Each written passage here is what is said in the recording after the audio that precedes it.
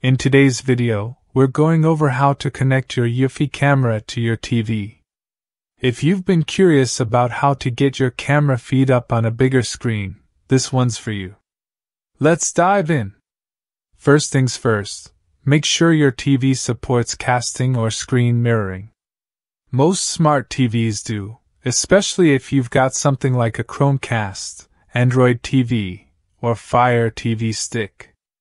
If you're not sure, just take a quick look at your TV's specs or check its settings for casting or mirroring options. Now, to get things going, open up the Eufy Security app on your phone. This is where everything starts.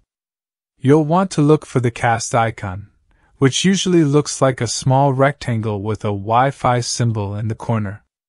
Tap that, and you should see a list of devices you can connect to. Find your TV on that list and select it. Once you're connected, choose the camera you want to view, and just like that, your live feed will be showing right on your TV.